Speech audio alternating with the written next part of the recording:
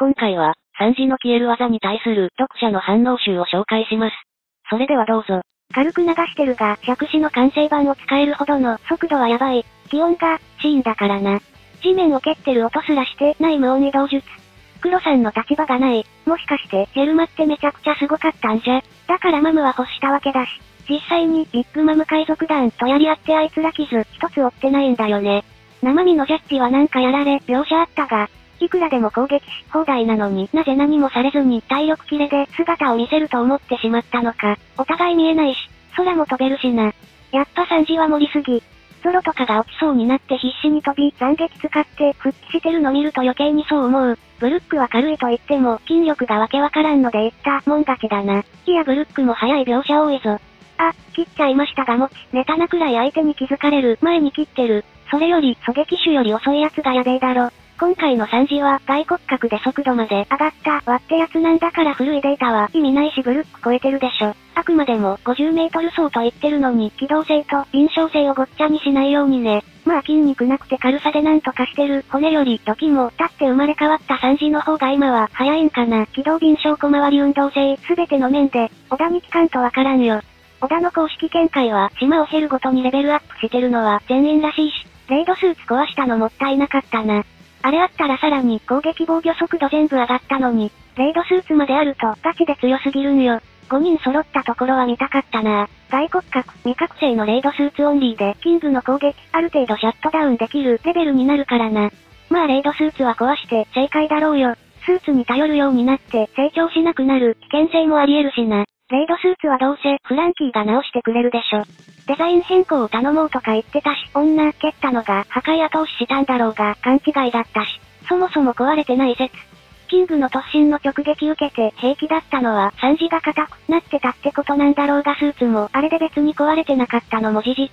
あれだけの加速つけたキングの攻撃より踏みつけが強いわけがない。いや、とにかく格好悪いので壊してくれてよかった。壊れたけど自己修復機能で治ったでいいでしょ。3時も同じ技術使われてるし、なんで相手が消えた状態なのに無視してオイランを襲おうとするのクイーンだから、3時はそろそろ乱脚を使えても良さそうなもんだが、一応クイーン擁護するとクイーンもステルス状態だからねこれ。消えてるはずなのに3時の蹴りがピンポイントで来ると思ってなかった。まあ見聞色でバレバレなのかどうかは作中で言われない限りは予想でしかないし、今ワンピースってキャプテンクロより強い奴と戦ってるのか、ジンベイが加入したから同程度かそれ以上の強さでないとならなくなったからな。見聞色で見えるなら透明化する意味があんまりないよな。トップレベルの同士の戦闘だと特に、つまり純粋にスピードで消える方が便利ってことか。ヤムチャ視点とか普通は勝ち目ないからな。このレベルとの比較対象として出されたなら黒さんも光栄でしょうよ。スピードはもはやスネークマンのブラックマンバ並みで常時動けるみたいな感じかな。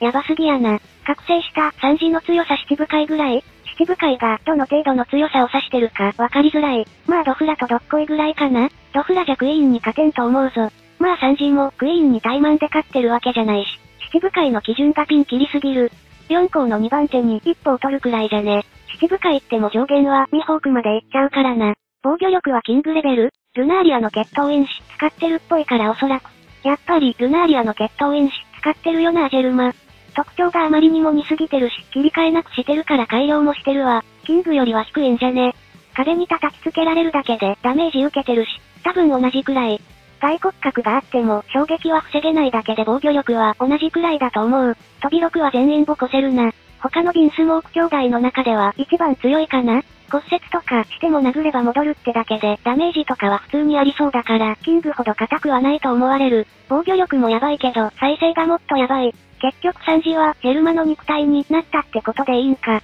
ネオキゾロの喧嘩を汚染してるとき、金属音っぽいのしてるから硬くなってそう。良いと思うで、鉄の体に誰よりも優しい心を持った変なコックさんや、トグロスクラってバキバキなの回復するの、まあまあ怖いわ。これ本当に解決したって受け取っていいの？ぶっちゃけ化け物レベルだよね。外骨格はキングみたいにギミック攻略できないのが強い。穏やかな心を持ちながら激しいグラキオトグロスとジェルマスーツによって目覚めた最強の戦士。ベルゴさんボコレルレベル。蹴り合いで骨にひび入ったサンジはもういないんだな。多分ベルゴさんの骨にひび入る。サンジ怖い、化け物。でチョッパーが4レベル、クイーン様か小老化されてるけど、普通にサンジと相打ちに近いんだよな。まあ4校、幹部2番手ぐらいはあるんじゃないかクイーンもダメージ負ってる戦闘ではあったけど、3時も3時で少なからずダメージ受けてた上に途中、精神状態のせいで、ろくに戦えてなかったし、初めから覚醒状態なら、クイーン相当はあると思う。ドフラミンゴが3時に、強そうなのが来たなって言うの好きなんだよね。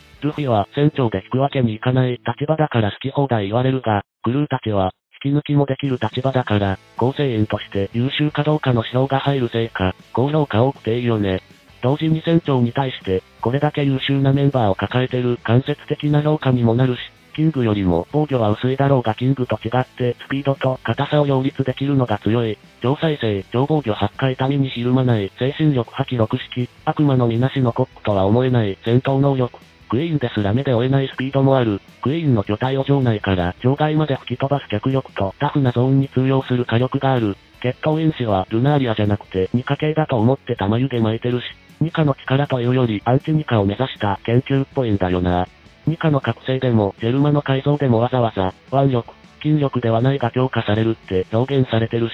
反面ニカが、周囲を笑顔にするならジェルマの改造は、氷の心を手に入れるとかね。ベガパンクハヨマッツ関連の情報を教えろ。いてんだが動けるんだって言った時は、通覚はしっかりあるんだって思ったんだがよく考えると、全身骨折をいてんだがくらいで済ませるんじゃねえ。悪魔の実というものも、三次の血統因子と繋がりあると思う。あのぐるぐるの模様、3時は空中戦可能だったり、見聞色のレベルも高いし、スピードも火力も防御もありますだから、戦闘においてのスペックが高すぎる。ガープ以外の中将には怠慢で負けないと思う。もともとルフィよりも見聞色の才能あって、今でも範囲はルフィより広いんだから、未来史なのか、広範囲なのかわからんがもっと見聞色の理想だよな。和の国序盤、ペータン撃破まで行かなかったくらいだったのと比較すると、強くなりすぎや。通常ギアフォースルフィより強いかな？ハオカと未来死抜きなら多分タイムアップまで粘れるぐらい。攻撃力のゾロに守備力の3時って漢字でわかりやすくて良い。さらに言うとパワー攻撃、スピード防御なのすごく住み分けできてる。